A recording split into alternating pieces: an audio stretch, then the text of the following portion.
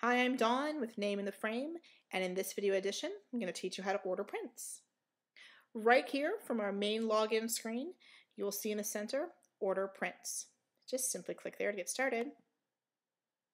And it takes you to Henmania.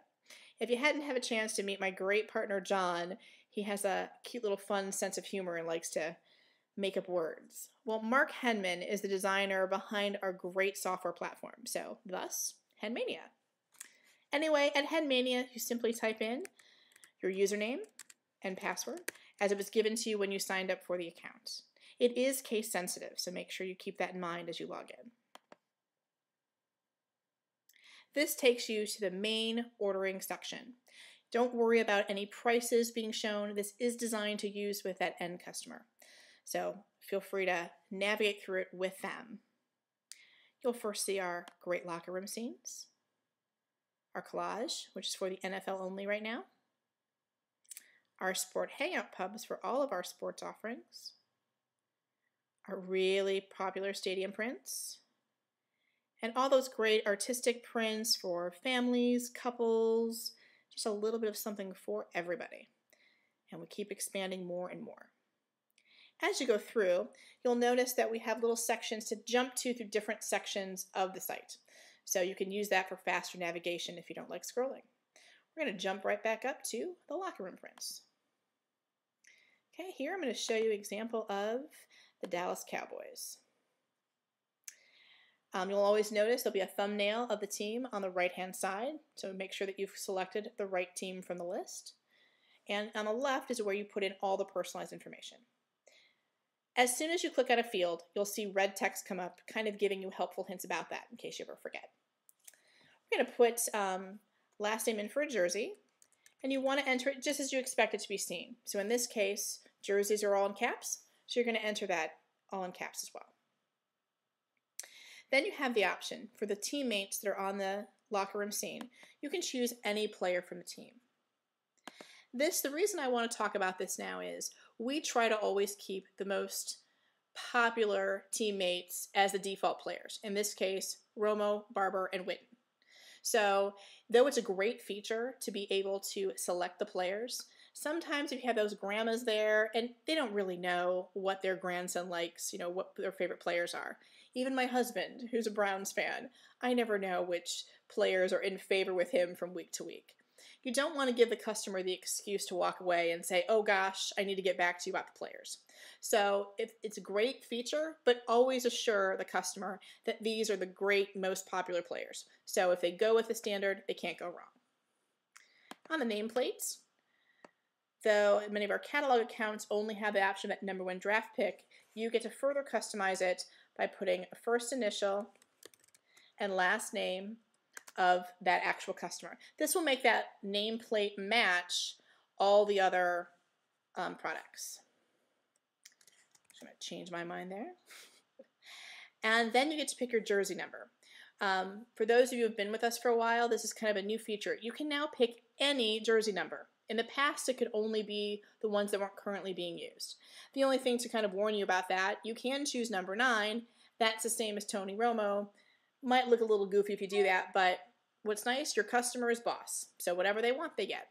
So I'm going to stick with classic number one. That your customers will have lots of ideas about what they think they want. Then you just simply click the preview button that's next to that thumbnail sketch. And depending on your connection speed, the uh, preview will show up in about 10 seconds or so. And there it is.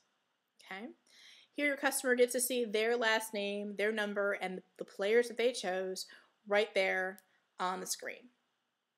Now, granted, it is a low resolution file. Um, it does have preview on it, so make sure you reassure the customer that the one they get will be crisp and clear and beautiful, just like the samples that you have on display. Okay, if that preview is satisfactory to your customer, then you can move on and actually place an order. Down to customer shipping details, there's a PO number field basically look at this field generically as what you would name the file. Think of it as naming, you know, a Microsoft Word document on your computer. Um, it really is an area completely for your reference. All these fields here are optional, but it helps you to find that file, especially during a busy time, or if you need to reference it later on, you can find your exact customer's order. Um, many of you may be implementing um, incentives for your employees, so this may be a good place to type in the initials of the person who created the order. And then maybe you want to say Dallas LR for locker room. Okay. And you can type in the customer names. And phone number is optional. And so you can use this for anything. This would be a nice place that you could put emails if you want to capture that for marketing for later, um, but really just an open field. I'm just going to type it as the sample for our video. Then you are going to just click submit. Now be careful before you do this because once you hit submit, you paid for it. So make sure you look at that preview very carefully.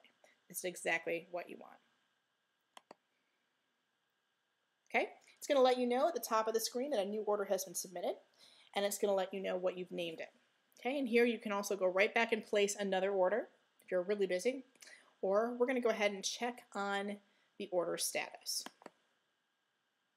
Okay, as you can see here, um, the way they've been named, you can see all the order date, the invoice number, um, the status. When it first goes in, you're going to see received in production. Okay, and then in a matter of anywhere between 10 to 30 seconds, you're going to see the final file for download. Depending on the browser that you're using, either this will pop up automatically or you will need to refresh the screen. F5 is a little keyboard shortcut to do that, or there's typically a, a refresh button on several um, different browsers. Okay, so keep checking those. When this comes up, you're going to get to see a full, the full resolution beautiful file. And then you have the option to print it in any size, the 11 by 14, shrink it down to an 8.5 by 11 or an 8 by 10. Um, you can even blow it up as large as a, a, 16 by 20, though the recommended Epson 1400 printer that we have um, does not allow for printing in that large of a format. But lets you know that the, the file size itself is available for that. Right now the file is available. And so as you can see, it's right there on the right hand side. It says download. I'm going to simply click that at this time. My computer, it goes through a little download file first.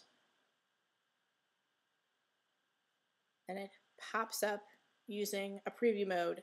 Um, this could be with Adobe Reader. Um, you know, your computer will depend on what program it launches. Here you can see the beautiful high quality images on the jerseys. You can see exactly um, how that might look in the finished printing.